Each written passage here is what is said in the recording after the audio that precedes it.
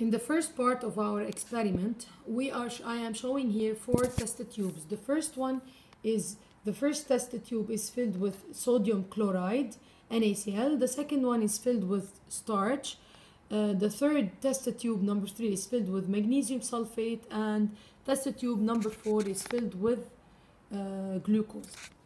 So I am going to add water to the four test tubes and check whether they are soluble or not in water.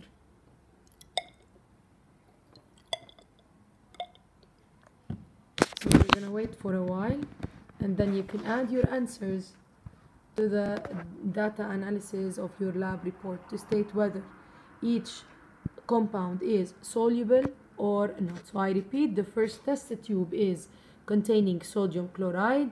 The second test tube contains starch.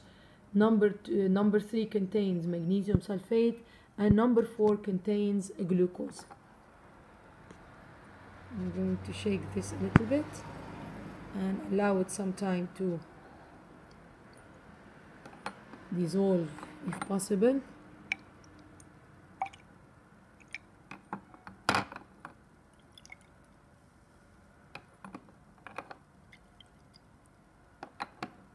So to speed up the process, I'm going to add more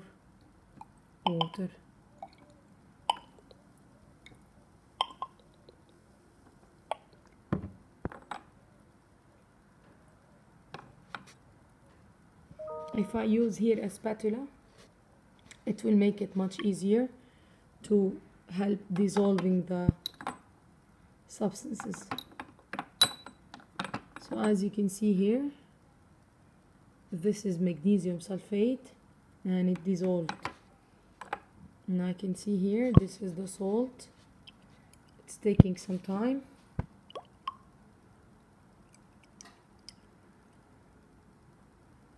and it dissolved and this is the glucose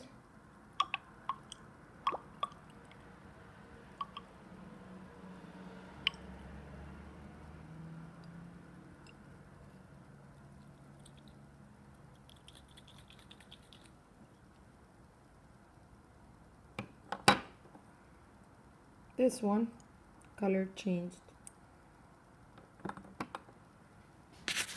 So, which one you think it dissolved and which one didn't? Write your results in the table.